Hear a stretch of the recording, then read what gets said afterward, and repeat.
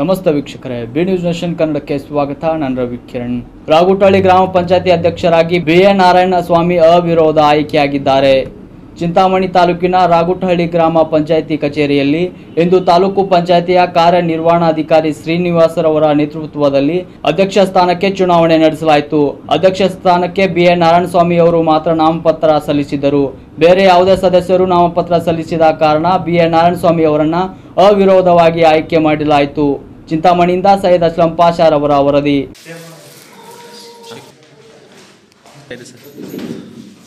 ಮಾಧ್ಯಮ ಮಿತ್ರರಲ್ಲಿ ಈಗ ತಿಳಿಸ್ತಕ್ಕಂಥ ವಿಚಾರ ಅಂದರೆ ರಾಗುಟ್ಟಳ್ಳಿ ಗ್ರಾಮ ಪಂಚಾಯಿತಿಯಲ್ಲಿ ಅವಿಶ್ವಾಸ ಮಂಡನೆ ಆಗಿ ಮಾನ್ಯ ಎ ಸಿ ಸಾಹೇಬರು ಒಂದು ಈಗಾಗಲೇ ಒಂದು ಸಭೆ ನಡೆಸಿ ಮಂಡನೆ ಆಗಿದೆ ಅಂತ ತಿಳಿಸಿ ನಮ್ಮ ಮಾನ್ಯ ಜಿಲ್ಲಾಧಿಕಾರಿಗಳು ತಿಳಿಸಿರುತ್ತೆ. ಮಾನ್ಯ ಜಿಲ್ಲಾಧಿಕಾರಿಗಳು ಎಂ ಶ್ರೀನಿವಾಸನ್ ಕಾರ್ಯನಿರ್ವಹಣಾಧಿಕಾರಿ ತಾಲೂಕ್ ಪಂಚಾಯಿತಿ ಎಂಬ ನನ್ನನ್ನು ಅವರ ನಿರ್ದೇಶನದಂತೆ ನಾನು ಗ್ರಾಮ ಪಂಚಾಯತಿನ ಗೊತ್ತುಪಡಿಸಿದ ಅಧಿಕಾರಿಯಾಗಿ ಬಂದು, ಏನು ಕರ್ನಾಟಕ ಪಂಚಾಯತ್ ರಾಜ್ ನಿಯಮಗಳಂತೆ ಚುನಾವಣೆಯನ್ನು ನಡೆಸಲಾಗಿ ಒಟ್ಟು ಈ ಪಂಚಾಯತಿನ ಹದಿನೈದು ಜನ ಸದಸ್ಯರಲ್ಲಿ ಹದಿನ ಹನ್ನೆರಡು ಜನ ಈಗ ಈ ಸಭೆಗೆ ಹಾಜರಾಗಿರ್ತಾರೆ.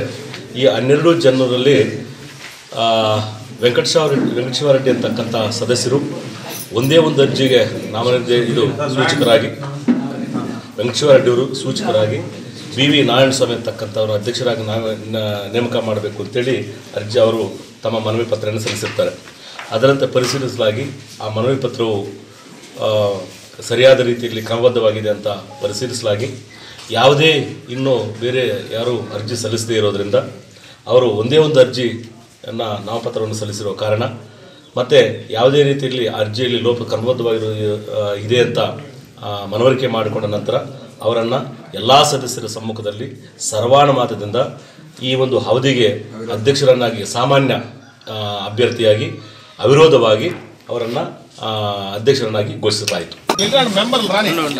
ಮೆಂಬರ್ ಜಾಗ ಬಿಡ್ರಪ್ಪ